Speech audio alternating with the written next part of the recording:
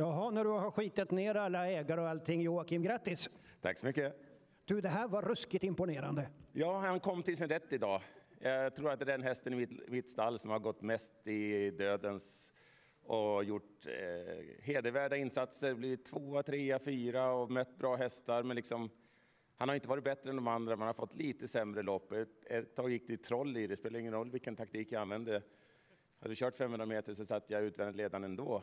Och, eh, idag var det vår tur att kunna bestämma lite och även om han var ambitiös så fick han gå närmsta vägen. Vem var det som bestämde? Var det du eller hästen?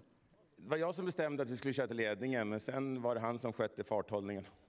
Ja, om jag såg rätt så var det en låg tolvtid och det är allt annat än lätta förhållanden. Ja, och det, det är ju många hästar som har mer i sig än vad de kanske får ut eh, med tanke på hur loppen körs. Vissa passar ju att gå på rulle och vänta på spurt och så, medan en sån här häst, han är ju svårare att slå för de andra när han löper på och sträcker ut liksom och går ett jämnt hårt tempo. Så att, eh, eh hade han bara varit lite startsnabbare så hade liksom kommit dit var och varannan gång, då hade han nog ja, tjänat snart det dubbla. Men, men han, han, som sagt, han krigar ofta ute i spåren och, och han gör det bra. Men idag fick han vinna också, det är kul.